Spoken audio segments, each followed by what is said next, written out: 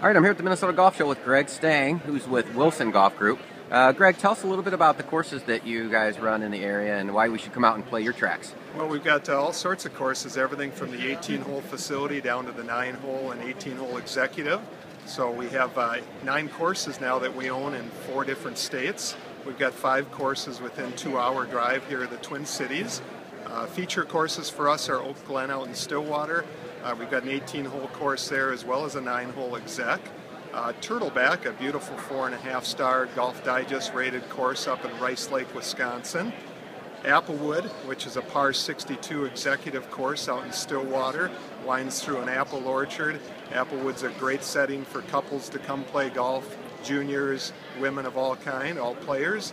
And uh, North Links down in North Mankato, Minnesota, and Gem Lake and White Bear.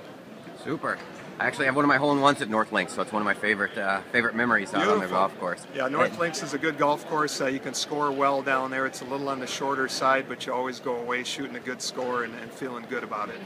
Yeah, every course I've ever played from the Wilson Golf Group has been fun to play. So, all right, if we want to learn learn a little bit more, where should we go? Go to our website, wilsongolfgroup.com, and we've got a link on there for all of our other properties. Uh, so come out and give us a whirl. Conditions are always in great shape at all our properties.